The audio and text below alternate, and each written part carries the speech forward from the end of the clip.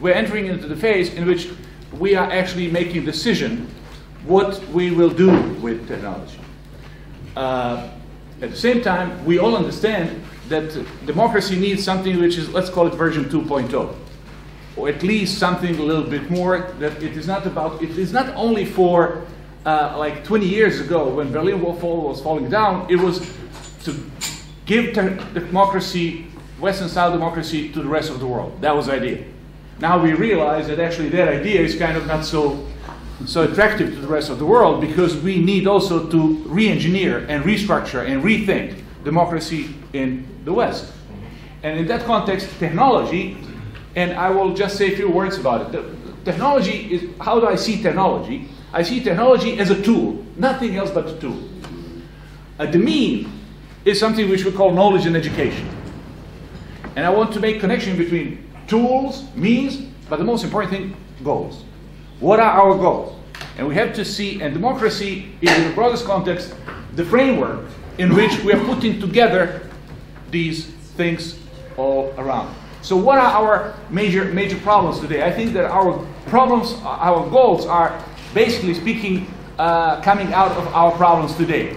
I think that the biggest problem of today's world is something which we call inequality. And inequality, inequality along different lines. First, inequality and I see inequality as a problem, and on the other side, I see fighting inequality as a goal. So inequality, first element of inequality is social inequality, which is basically speaking about inclusion. Inclusion is our first problem and first goal. Shall we move in direction of inclusive or exclusive societies? So let's call it social I, inequality. Inclusion, I'm sorry. Social I of inequality, which is inclusion. Social I of the economics is income, distribution of income, and I won't talk so much about it because we are familiar with economic inequality along the different lines. The third element of inequality is legal inequality, which is third I, injustice. We are witnessing injustice in different parts of the world and inside societies, inside organized states. The fourth inequality is political inequality, and political inequality, I'm talking about identity. I, identity. Will we be able to to, to celebrate our different identities and actually guard them and guard our own identities by guarding others' identities and helping them to flourish and helping them to be together with us. The next element is physical, physical inequality, which is called insecurity. And today we are witnessing, especially when it comes to social media, we are witnessing the fact that um, it's bizarre, but one of the latest studies that I saw in the United States, Gallup studies just a few months ago, was ask, asking the question, would you give up your privacy for security in context of, of actually Big Brother? And it's astonishing. It's astonishing how many people would give up privacy for security, which is opening completely new Pandora box. And I won't talk about it, I'll just knock on that door. Uh, last two, last two uh, inequality problems are something which I call IT or interconnectivity or technological inequality. And technological inequality together with innovation inequality, which is about knowledge and education, is leading us to not the goals, but leading us to tools and means. I think that education and knowledge has to be seen as a mean and information technology and technology, and especially artificial intelligence, is giving us reason to think that we have tools. But go back to square one. what do we do with our means? What do we do with our tools and means? We do run to solve the problems and hit the goals.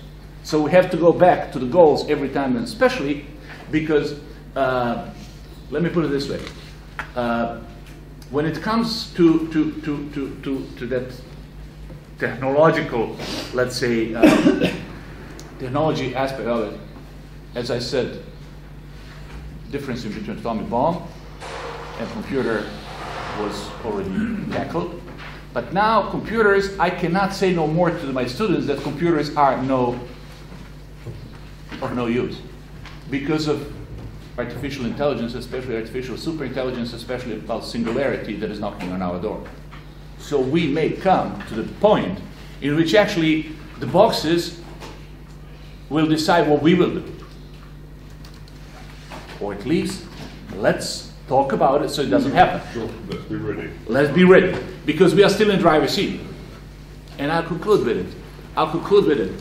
Uh, my favorite, my favorite uh, uh, classification of American presidents was given to me by one friend over a very nice dinner. He was telling me about four American technology presidents. He was telling me about four American presidents who were elected as a result of technology. And, uh, and uh, the history would be definitely different if those four guys would be different four guys. Bad or worse, I don't know, I don't care, it's irrelevant because it's history. First technology president was Roosevelt, who actually used the radio through his famous fire chats with the families to go directly to the, his constituency, stepping over senators and congressmen. And actually, he didn't have to, to campaign for his second term at all because he was actually campaigning on the radio every Monday night. Monday night football game. Football was, I mean, probably a succession of that period when Roosevelt was gone and they decided to broadcast football, Monday night football game. So uh, radio was actually the first technology that made president to talk directly to the people. And we have even those old black and white movies when families are sitting around the fireplace and talking to a president. Basically speaking, he's telling them something. The second president was, we all know that, I mean, famous, famous TV President Kennedy. And without TV, he wouldn't win. The history would be different. He would definitely not be killed. But that's another story. The third president, technology president, was Obama, who actually used internet to completely restructure the campaign. And he used the power of internet by basically speaking, reaching to a lot of activ- activists. And he it was one of the first presidents, Democrats, who collected more money by a lot of people, little money with a lot of people, than not focusing on small amount of people for big money. He used internet, and the rest was history. And of course, the last technology president was the current one, because, I mean, without Twitter, the history would be different. Uh, my question is, uh, who's going to be fifth American president? Fifth American technology president, and what will be technology? Definitely not radio, definitely not TV, definitely not internet, definitely not Twitter. What is going to be? Is it going to be, as we are witnessing now from, from Cambridge Analytica, is it going to be something which will be combination of it? But it's already seen because Trump used it. Because that's Twitter. So what will be the AI president. or, or let me put it this way, will next American president, technology president, will be elected by artificial superintelligence. So maybe artificial superintelligence is going to make decisions without us being interfering. Or it could be even worse, that the next uh, technology American president because artificial superintelligence itself. So, so we don't know. But I'm just trying to open, open Pandora box with it. And concluding with what uh, uh, my dear friend Momi was talking about regulation. I think that the big battle is going on right now when it comes to the regulation, and maybe the best, the best example of that is uh, uh, yesterday's article in New York Times made by Tom Wheeler, chairman of U.S. Federal Communication Commission from 2013 to 2017. Very interesting guy who is now uh, our colleague in Harvard. Uh, he started his, uh, uh, his, his, his article was the title is Can Europe Lead the Way on Privacy? And he was talking about regulation. He was talking about two approaches of regulation when it comes to the media, social media, uh, especially moved, just triggered by Cambridge Analytica. And he's using the one pager that uh, Zuckerberg uh, advertised in major major presses, which he said uh, we have a responsible to protect your information. If we can't, we don't deserve it. that was the quote of Zuckerberg. And Wheeler rightly said it is not whether IT companies deserve our private information, but why we have no ways to protect ourselves. Why we have to depend on their mercy. Do they deserve or not? What if they don't deserve and they haven't? And what if they deserve? Does it mean that they deserve to run our lives? And that's the reason why he's talking about a very interesting point that uh, in US regulators, uh, companies are saved by lengthy uh, and coercive le- legalities and cumbersome opt-out processes. Basically speaking, some place in that, that, in that screen that you see, some place with little signs, it says you can opt out. that they don't use, that they, they are not allowed to use it. So basically speaking, it is enough to put it someplace in your screen that, I mean, you have to decide, if you don't do it, then you actually accepted that they are on you. Uh, uh, These days, EU is starting May 2018, there is general data protection regulation which is ensuring consumers' private information and tools to exercise that control, including user, user explicitly opt-in which basically speaking, you have to really, before going into any details. So that's the different concept of regulations. I'm not saying that that's enough, but that's a starting point. And what he's actually, uh, of course, uh, because that was his time, uh, and he's saying that in 2016, FCC imposed similar requirements with explicit, explicit opt-in for having personal data collected and protect collected information. And you know what happened?